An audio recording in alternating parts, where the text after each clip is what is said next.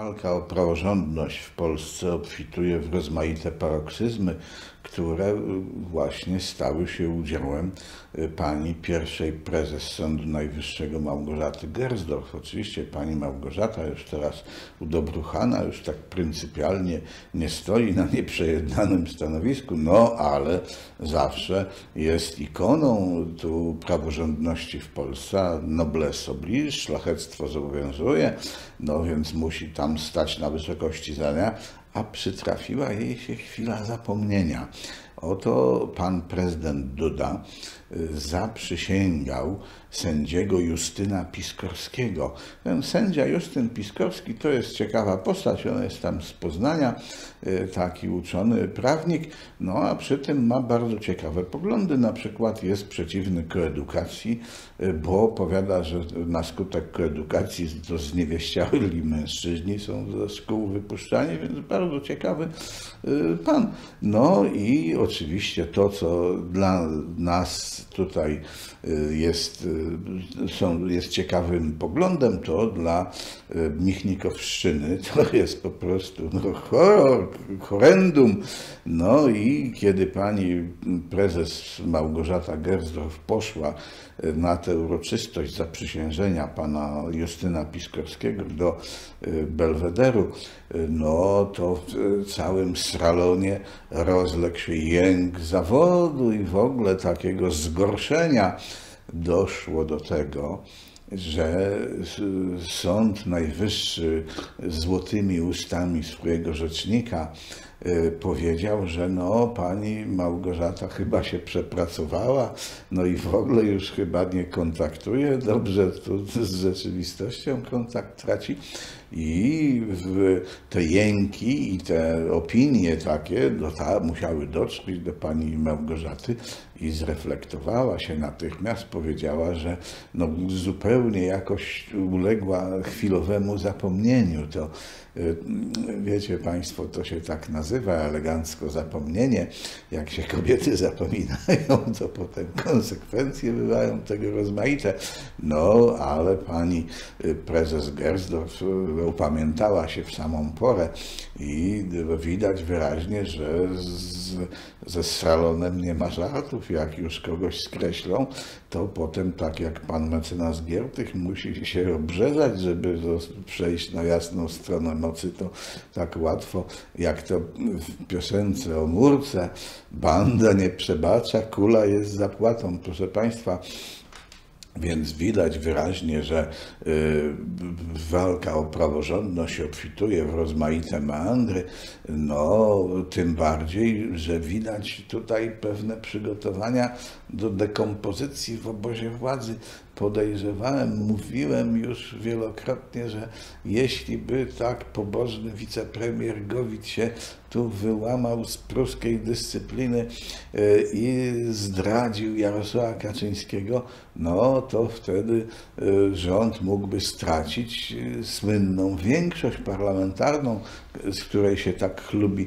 Proszę Państwa, no i oto być może jesteśmy w przededniu czegoś takiego, bo pobożny wicepremier Gowin w, w dniu wczorajszym, to znaczy 19 września, y, prezentował w Krakowie projekt ustawy o szkolnictwie wyższym.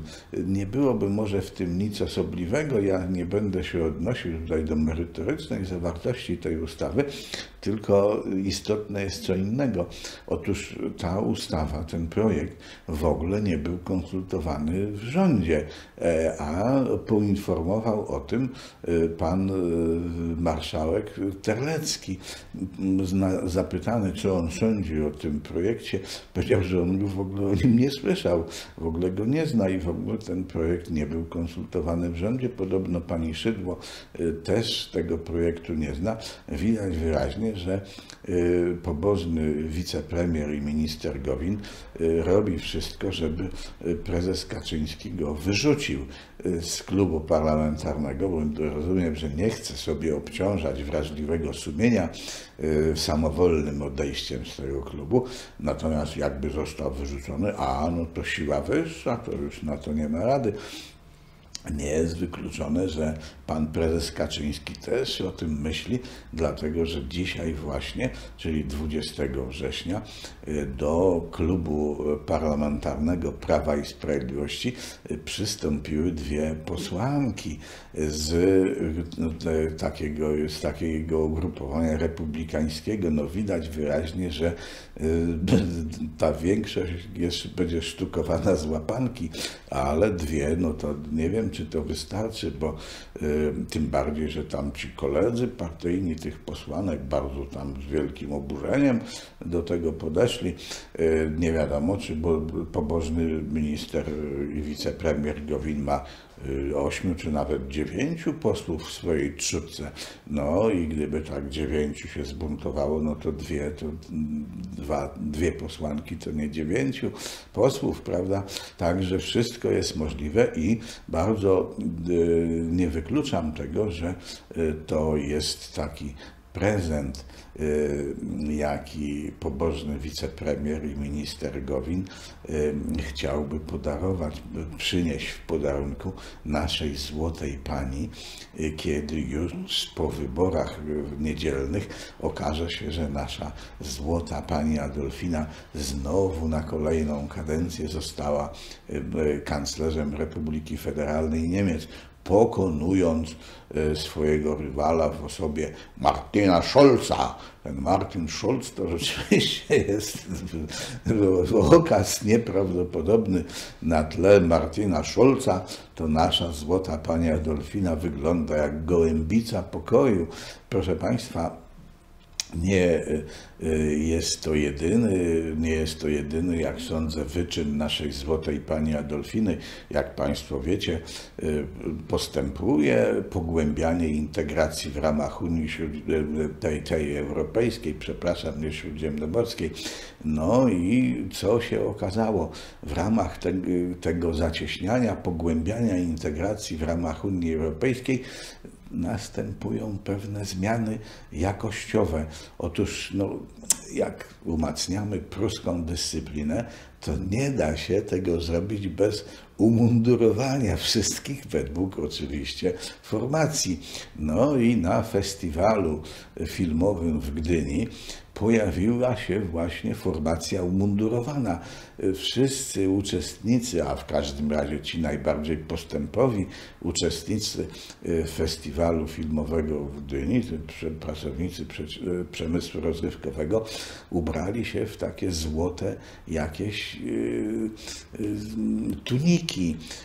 Widać, że nasza złota pani te złote tuniki, bo ktoś chyba ufundował, to nie za własne pieniądze, tam by sobie pokupowali takie złote tuniki, więc nie jest wykluczone, że to jest umundurowanie w takie złote tuniki przewidziane dla lojalnych pracowników przemysłu rozrywkowego, lojalnych oczywiście wobec naszej złotej pani Adolfiny. Ciekawe w związku z tym, jakie umundurowanie obmyśli nasza złota pani ekspozyturze stronnictwa pruskiego. Ze swojej strony doradzałbym tyrolskie kapelusiki, y, no i jakieś skórzane takie, a w każdym razie zamszowe kurteczki, takie jak w czasie okupacji nosili Volksdeutsche. Od razu można by było rozróżnić, kto do jakiej formacji należy i wyborcy nie musieliby łamać sobie głowy, spojrzeliby na takiego pana Schetynę, od razu by wiedzieli, z kim mają do czynienia. Kapelusik tyrolski i te takie, prawda, te.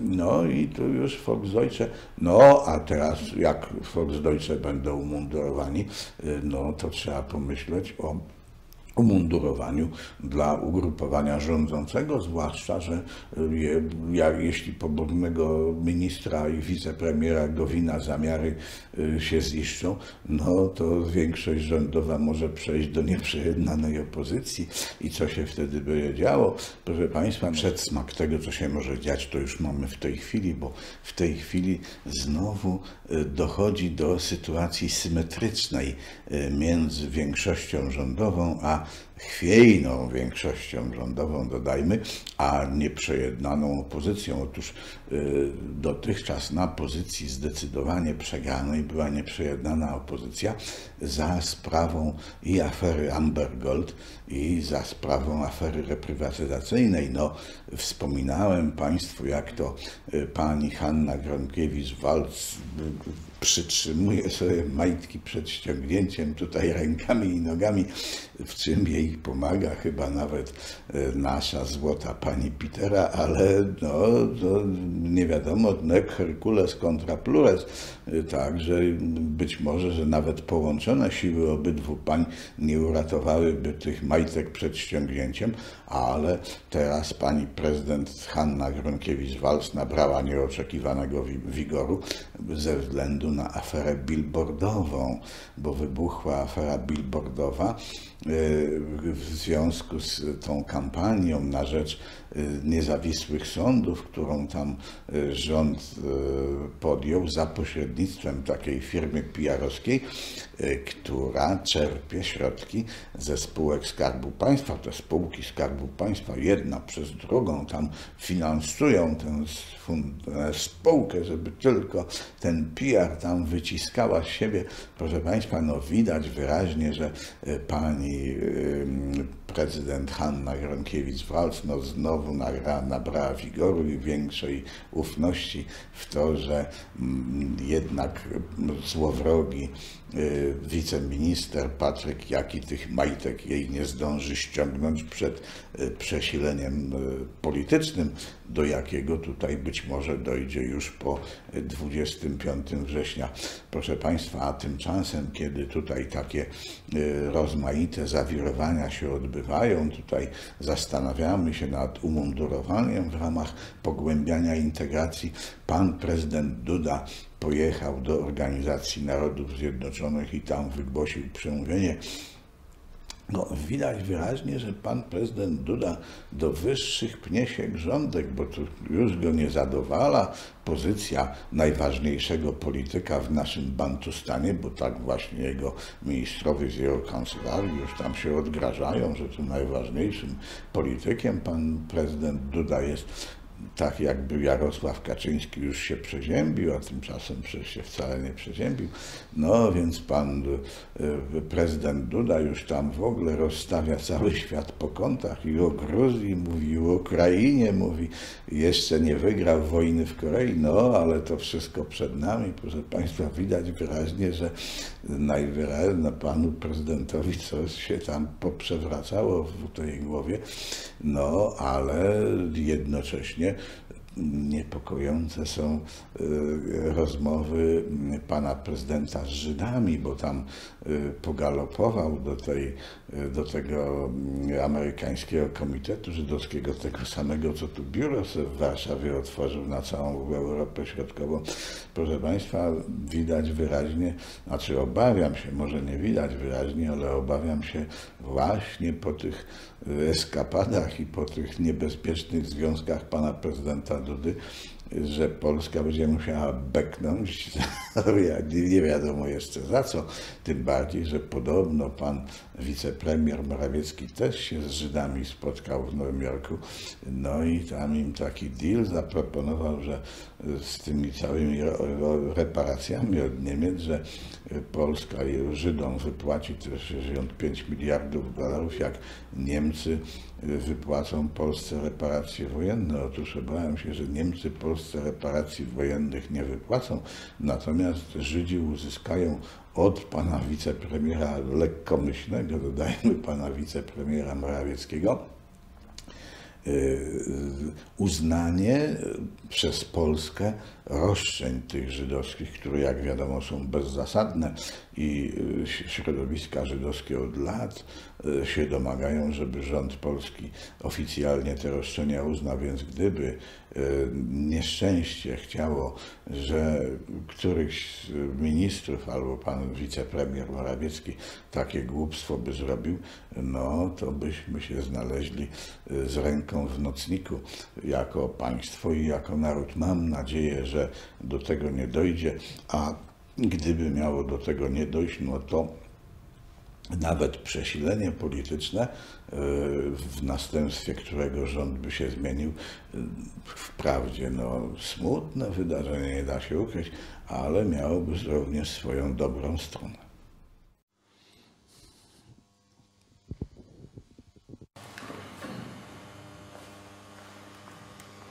Y, niedawno zadałem Panu pytanie, co Pan sądzi, czy w najbliższym czasie w Polsce może dojść do niepokojów społecznych?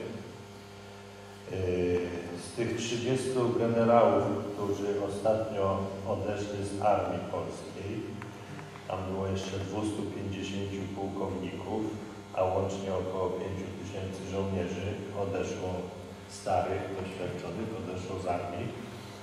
Przynajmniej dwóch. Jeden to był oficerem, dowódcą e, wojskowych służb informacyjnych. Mówiło, że Polsce grożą niepokoje społeczne. Pan wówczas powiedział, że nie widzi takiej sytuacji. Ale dzisiaj, kiedy usłyszałem o tym biurze amerykańskim, żydowskim, które, które się instaluje w Polsce, to zagrożenie, że pojawią się niepokoje społeczne, moim zdaniem narasta. I to, co mówili ci oficerowie służb specjalnych, wydaje mi się, że jest jeszcze bardziej realne. Proszę pana, ja y, przypominam sobie, że ja nie zgadzałem się z opinią, którą wygłaszali różni ludzie, między innymi Lech Wałęsa, że w Polsce grozi wojna domowa. Wojna domowa Polsce nie grozi z prostego powodu. Do wojny domowej potrzeba dwóch stron wojujących. Dwóch, przynajmniej dwóch. A drugiej strony nie ma. Naród polski jest najbardziej rozbrojonym narodem w Europie. Nawet mężni Czesi są w lepszej sytuacji od nas. Więc żadnej wojny domowej być nie może. Może być tylko coś w rodzaju stanu wyjątkowego albo stanu wojennego. I dlatego powiadam, te deklaracje e, osób wojskowych, wysokich rangą, to nie są to nie są y, takie y, hipotezy. Oni mówią to, co wiedzą.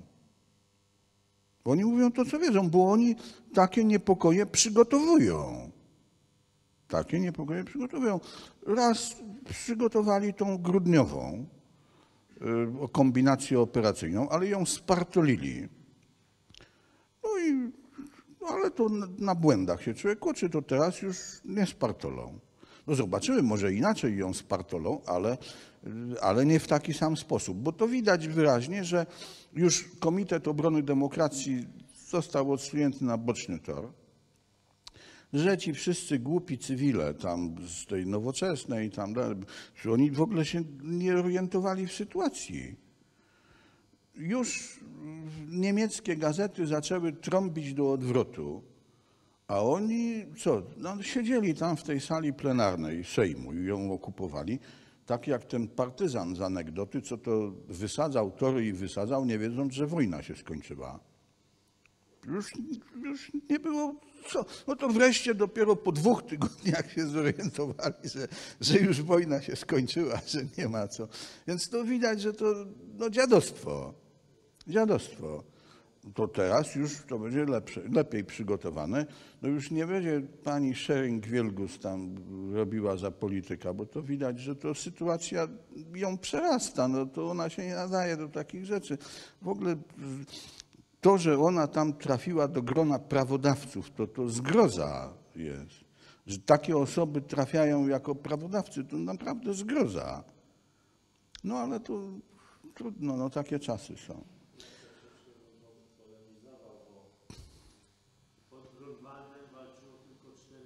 Krzyżaków, reszta to byli najemnicy. W Syrii dzisiaj też przerzucono najemników. Wystarczy y, opozycję, opozycję, dotrzeć do opozycji, dostarczyć sprzęt, y, dostarczyć, e, to się nazywa doradców wojskowych i rewolucja idzie pełną parą. Proszę pana, jak już tak szczerze rozmawiamy, to ja bym się tego nie obawiał. Bo co, myśli pan, że jak panu Ryszardowi Petru pan wręczył, nie wiem, pistolet maszynowy, to on by wiedział, jaki użytek z tego zrobić? Moim zdaniem nie. Natomiast, tak, natomiast tak, nie, to wie pan, proszę pana, e, takie, takie niepokoje społeczne można wywołać u nas bardzo łatwo, ale nie w taki sposób, jak pan myśli. Otóż w Polsce jest w tej chwili około półtora miliona imigrantów ukraińskich. Większość z tych ludzi, większość z tych ludzi przyjechała tu do roboty i tam nic im po głowie nie chodzi, ale, ale trzeba zakładać, że pół procenta, może nawet 0,8% z tej liczby to mogą być ludzie zadaniowani wywiadowczo. I to niekoniecznie przez Służbę Bezpieki Ukrainy, tylko przez wywiad niemiecki. Tylko przez wywiad niemiecki. Jak byłem w ubiegłym roku na Podkarpaciu, to z wiarygodnego źródła się dowiedziałem, że do Polski idzie przez granicę polsko-ukraińską duży przemyt broni. Kto jest odbiorcą tej broni?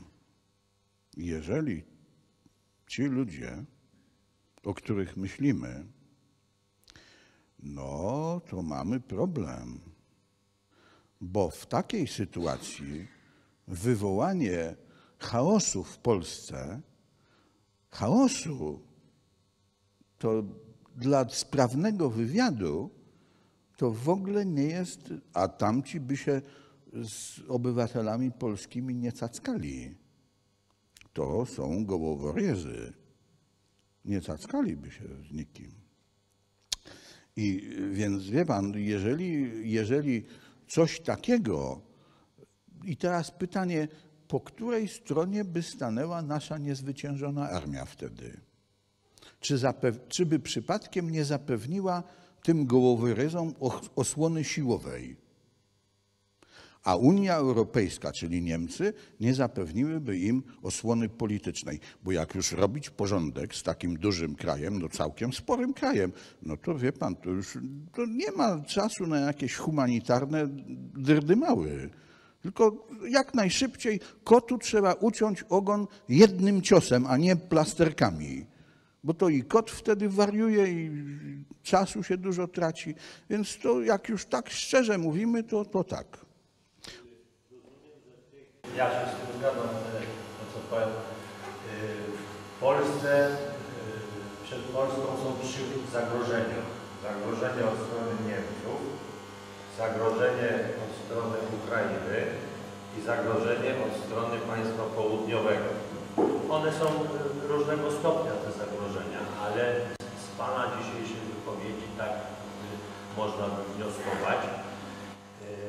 Ja bym to nazwał trochę inaczej. Wczoraj Pan nie porusza w ogóle innych dziedzin życia, na przykład gospodarczych. Ja wczoraj byłem na konferencji w Warszawie biznesowej i w piątkach był taki przedsiębiorca Szczepan. Szczepan wczoraj wypowiadał się bardzo negatywnie. Powiedział, że jest w stanie natychmiast zwolnić tysiąc ludzi i przenieść swój biznes inny rejon Europy. Więc jeżeli ci biznesmeni jutro, za pół roku przeniosą biznes w Polsce, pojawiają się kolejne zagrożenia wewnętrzne. To jest dziedzina gospodarcza. O tych sprawach Pan w ogóle Proszę Pana, no bo rzeczywiście, bo o tych sprawach, o tych sprawach będę mówił dzisiaj w Radomiu. A no nie mogę mówić o wszystkich sprawach, bo to byśmy nie wyszli stąd do rana. O te trzy państwa mi chodzi. No, proszę pana, ja bym powiedział tak, ja bym u zagrożenia to, wie pan, po, z, określiłbym to inaczej. Te trzy państwa mają interesy swoje w Polsce i mają mają instrumenty, żeby je realizować. Tak, no, to mogą być zagrożenia.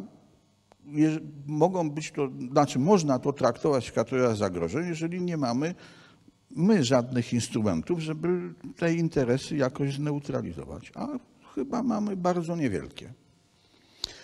Także, także tak.